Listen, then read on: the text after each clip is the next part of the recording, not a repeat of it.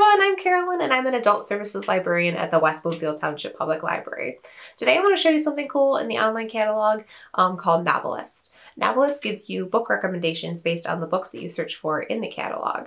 And um, you can personalize those recommendations to find your next great read. So starting from the library's online catalog, type in any author or title and click on the result that you want. You can scroll down on the page to see recommendations, or you can click on the See Similar Titles button right at the top.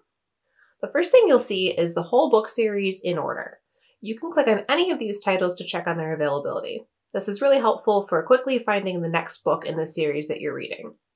Next is a whole section of read-alikes. First on the left is a list of similar titles. You can click on any of those titles and you'll see why NoveList recommends that book. If you're interested in that book, you can click on Find It and check on the book's availability. In the middle here is a list of similar authors. Just like the list of similar titles, you can click on any author and see why you might enjoy that author's books.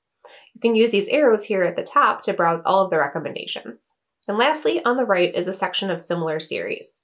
You can click on any of those series, see why NoveList recommends them, and browse all the titles in the series. Below the read-alikes is a section called Story Elements. NoveList recommends books based on these elements. If you hover your mouse over one of the elements, you can read more about it. And you can mix and match these elements to create a personalized recommendation.